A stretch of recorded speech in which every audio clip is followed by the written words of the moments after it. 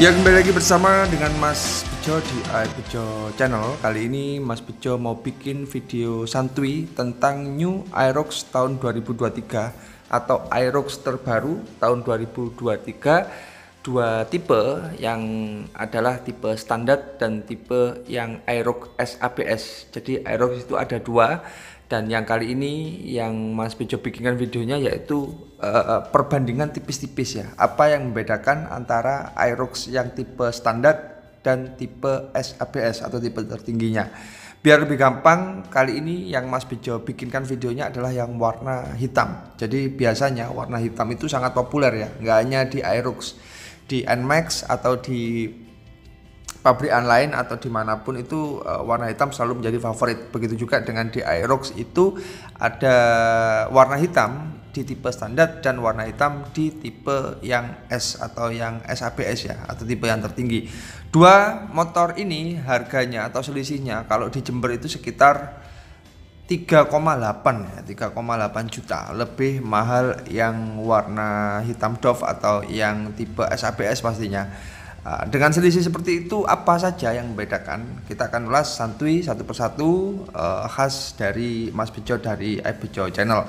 Yang belum subscribe monggo di subscribe di Bejo Channel. Yang sudah subscribe Mas Bejo ucapkan matur nuwun terima kasih. Langsung saja untuk yang pertama dari namanya saja sudah terlihat ya yaitu SABS kalau untuk tipe yang tertinggi. Jadi perbedaan yang pertama adalah pada pengeremannya. Kalau untuk yang standar itu non ABS atau tidak ABS. Jadi uh, kalau kita lihat ya pengereman yang di depannya itu cakram, terus velgnya warna hitam dengan spakbor warna silver.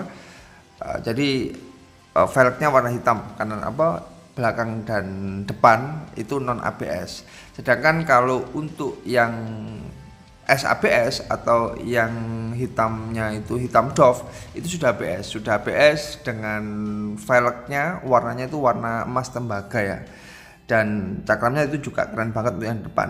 Nah, dua motor ini sama-sama yang belakang masih tromol ya atau masih belum cakram untuk yang SABS maupun yang tipe standar. Itu perbedaan yang pertama karena sudah jelas sekali kalau dua motor ini adalah motor yang ABS dan non ABS. Terus yang kedua adalah dari segi warna itu sendiri gitu ya. Dari warna kalau untuk yang tipe standar atau aero connected yang non ABS itu warnanya hitamnya itu hitam glossy. Jadi hitam glossy ada strippingnya. Cuman di deck sampingnya itu warna hitam doff ada semacam kombinasi warnanya Aerox dan warna-warni lah. Biasanya kalau untuk tipe standar itu warna-warni dan di depannya itu ada kombinasi warna silver. Jadi deck sampingnya warna silver, terus spakbornya juga warna silver. Sedangkan kalau untuk yang tipe SABS itu hampir semuanya itu hitam ya. Jadi kombinasinya itu cuma warna hitam dan warna velg yang adalah warna emas atau warna coklat tembaga. Hitamnya itu hitam doff ya, hitam doff dan kombinasi strippingnya itu lebih minimalis daripada yang tipe standar. Dan membedakan lagi kalau untuk di deck sampingnya kalau bodinya kan hampir semuanya itu warnanya warna hitam doff. Kalau bodi di sampingnya itu warnanya hitam glossy ada strippingnya. Cuma garis-garis mini lah apa enggak begitu banyak. Dan emblem Aerox ah, itu emblem timbul. Kalau untuk yang tipe standar kan uh, stiker. Itu perbedaan yang kedua Terus perbedaan yang ketiga atau yang selanjutnya yaitu pada kunci kunci kontak gitu loh ya. Kalau untuk yang SABS itu sudah menggunakan keyless uh, menggunakan kenoknya kompor gas, menggunakan remote lah ibaratnya sudah menggunakan remote. Sedangkan kalau untuk yang tipe yang standar itu masih menggunakan anak kunci atau pakai kontak, nggak pakai remote. Itu yang membedakan. Terus lagi yang membedakan selanjutnya yang keempat ya empat apa tiga empat lah ya anggapannya empat itu kalau untuk tipe standar untuk pita-pitaan yang bagian kanan di atasnya starter sama hazardnya itu tidak ada yang namanya uh, apa stop and start system. Nah, jadi nggak ada SSS-nya, nggak nggak bisa berhenti sendiri lah. Ibaratnya kalau di lampu merah atau kalau berhenti secara sementara. Sedangkan kalau untuk yang tipe SABS di Aerox yang tipe SABS yang warna hitam doff itu sudah menggunakan SSS atau dilengkapi dengan SSS atau stop and start sistematik sendiri. Kalau di Honda itu ISS lah, idling idling stop.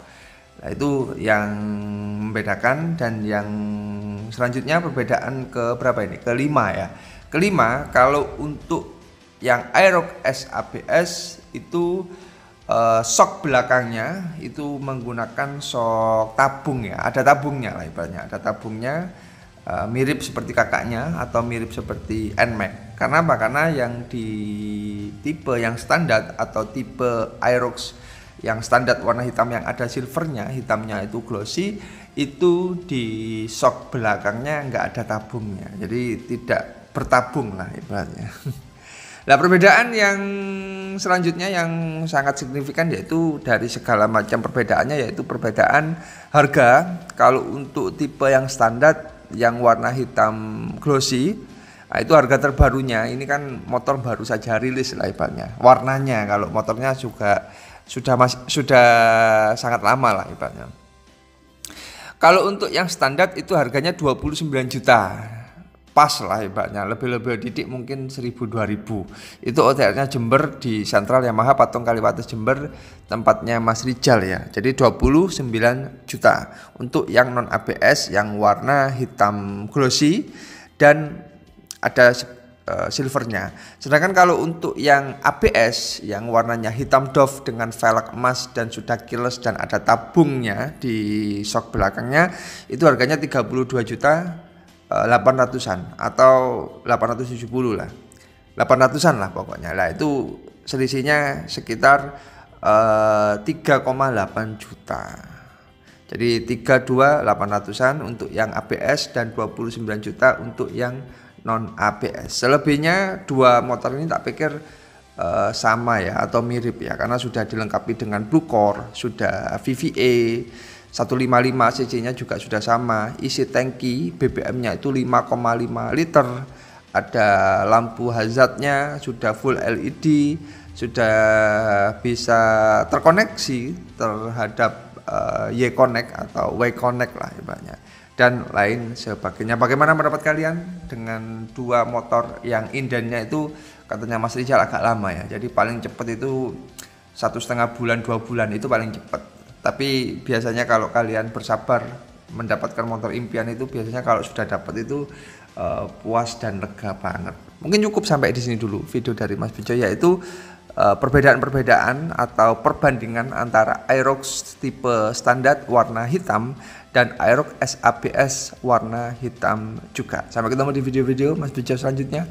Mohon maaf kalau ada salah-salah kata, banyak pastinya karena Mas Bejo hanyalah manusia, biasa tempatnya salah kilaf dan lupa dan kesempurnaan hanya milik Allah Subhanahu wa taala. Sampai ketemu di video-video Mas Bejo selanjutnya. Jangan lupa like, comment dan subscribe di Bejo channel. Matur nuwun. Terima kasih.